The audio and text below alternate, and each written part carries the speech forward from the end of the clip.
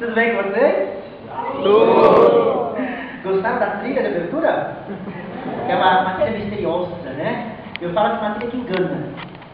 Gente, quem ia sair daqui ia ser o Reinaldo Giannichini, só de suma, fazendo aquele comercial do Shopping Tudo. Mas não, gente, vocês vão ter que se contentar com a Deusa Borges aqui. Ah, deixa eu me apresentar. Eu sou Alil Coelho, um ator que tem orgulho do seu nome. Eu acho que minha mãe foi muito boa comigo. Vocês sabem que tem pai que não dá nome, que amaldiçoa a criança pro resto da vida, né? Eu conheci esses dias uma moça chamada Jáfia. Eu pensei, gente, deve ter confusão no registro. Já escolheu o nome da menina? Jáfia! Meu Deus! Tem gente. Pensa numa mulher bonita, gostosa, uma amiga minha, uma japonesa. Mas ela reclama que ninguém dá bola pra ela. A gente também, olha o nome, me come. Eu imagino uma balada, né? Cara, aí, qual é o seu nome? Me come. Inclusive ela não veio que ela sabia o que ia falar dela, mas mandou a prima, a Michupe. Tô bem criativo. Eu, graças a Deus, nunca tive problema com meu nome, mas tive com meu cabelo. É, na, na adolescência eu tinha vontade de ter o cabelo comprido, liso, né? Daí vale Enê, vale Belinho, ali tinge. Né? Mas não era gente, não era coisa de viadagem, não, pelo amor de Deus. É que eu era muito fã daquele grupo Guns N' Roses. Vocês lembram dos Guns N' Roses? Sim. Aliás, eu me achava a cara do Axel Rose. Só que o pessoal era uma confusão que ninguém entendia, né? Aquele fanatismo de querer parecer. Tipo, eu colocava uma bandana, me chamavam de pirata. Alisava o cabelo de Clodovil. Uma vez pintei o cabelo de louro e fiquei conhecido como a Paquita Preta. Daí eu tinha um pessoal mais criativo falando, e aí, Black Xuxa? Do. Hoje eu sou ator, sou autor de novela, escrevo para televisão, mas até agora nenhuma pro ar. Mas eu fiquei muito feliz porque a TV Diadema entrou em contato comigo. Ela lembra assim, ó. Quando falo em novela, gente, eu penso uma coisa, tem coisa que só Fabrício em ligou pra ele. Por exemplo, gente, a novela se passa aqui, né, em São Paulo, mas todo elenco tem que estar carioca. Como depois é uma coisa normal, você sair, o seu vizinho é carioca, seu porteiro é carioca, padeiro é carioca, o cachorro é carioca, você é carioca. Não, nada contra os cariocas, pelo amor de Deus. Né, mas a gente custa o ator tentar fazer um laboratório, mas não que seja aquele laboratório que assim, o pessoal fazer paulista. E começa a falar que não supra, né? Tá entendendo? O que tá acontecendo? Ô, mano, gente, todo mundo aqui fala igual supra. Não, só que tem outro lado também, vou defender. Tem ator paulista que você não- consegue imaginar de jeito nenhum fazendo carioca. Vera Rose. Imagina a Vera Rose. Ô, Fred! Vamos pra praia, tem carioca da gema! Não tem como. Gente, outra coisa aqui que eu não gosto. Não gosto não, eu, eu, odeio. Odeio, odeio não, eu detesto mesmo. Toda novela tem aquele casalzinho apaixonado que briga de pega-pega na praia, você repararam isso? Se reconciliou com a Rica, Rica. A mocinha chata é a Carolina Dickman. E eu não gosto da Carolina Dickman. É, Você também não? Aliás, quem estiver defendendo, atira a primeira pedra quem nunca falou mal da Carolina Dickman. Não, gente, e assim, engraçado, né? Vamos, vamos gravar cenas de corre-corre em Angra, Búzios, na Praia Grande ninguém quer gravar. É. Lá em Bambaquá ninguém quer. Ninguém quer fazer aquela cena de correria com aqueles colchão inflado, o pessoal na Praia Grande adora levar pra mergulhar. Passar final de ano lá é uma delícia. Não, gente, eu vou fazer uma promessa pra vocês, quero que vocês me cobrem. Quando eu escrever minha novela popular, eu vou mudar algumas coisas. A começar pelo título. Eu acho que título de novela é uma coisa que você olha e fala, nossa, vai ser boa. Tipo, insensar coração, nossa, paixão, paixão. Agora, eu tenho esperado uma novela chamada Pícara Sonhadora. As contas não vão para o céu.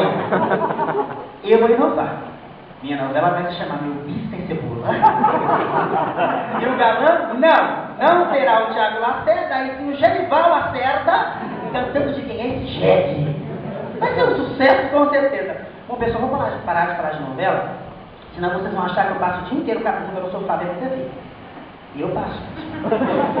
Só que tem coisas que eu adoro assistir, outras coisas. Por exemplo, sabe esses programas evangélicos que passam de madrugada? Ah, ó, a colega adora. Gente, é muito bacana. Inclusive, vocês sabiam que vocês podem se curar de uma, uma doença Lá só assistindo. Na hora da oração. Tipo, você tá com dor de cabeça, encosta a cabeça na TV.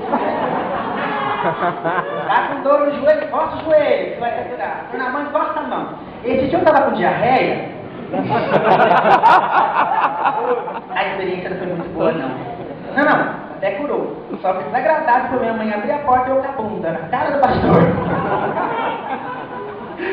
Gente, a mãe evangélica, imagina a situação. Só assim, falando minha mãe, quando ela se converteu, eu falei, mas que vou falar com a minha mãe, gente? Aliás, não é só ela não. Vocês repararam que a pessoa, quando se converte, ela começa a copiar o pastor?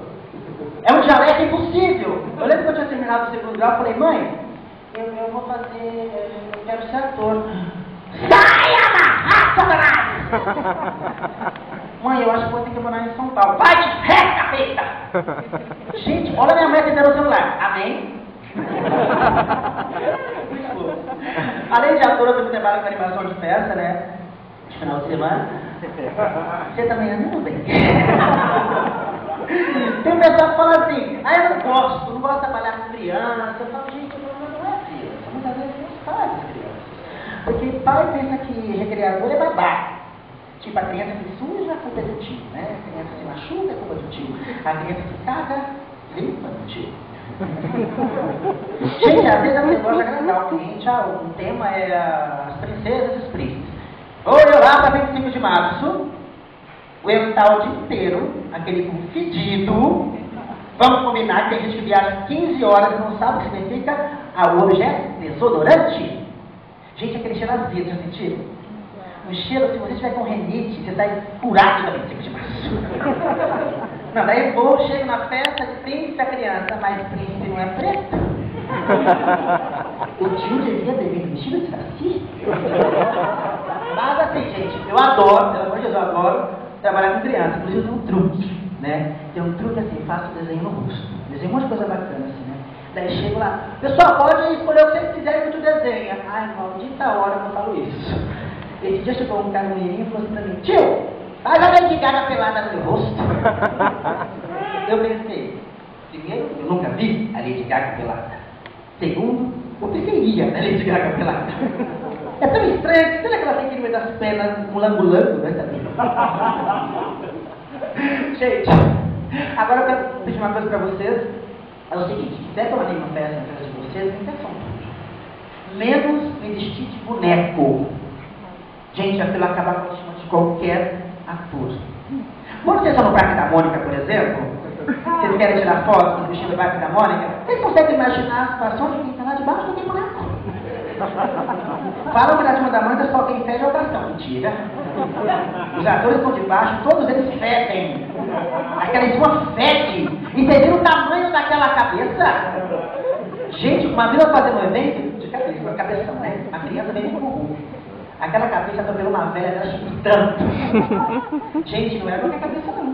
Era a cabeça daquele personagem da Bahia. Eu sei que quando a velha da dedicação total, você ela fala um monte de palavras doidas. Lá.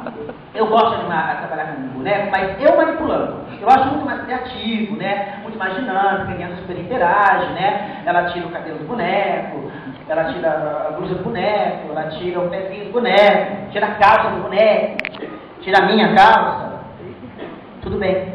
Só que teve um dia que eu estava sem cueca e fiquei conhecido na festa como tio Mandioca. Pelo amor de Deus. Gente, é isso aí. Sejam bem-vindos ao Extra Show com o espetáculo Cada Um Se Vira Como Pode. Uhul!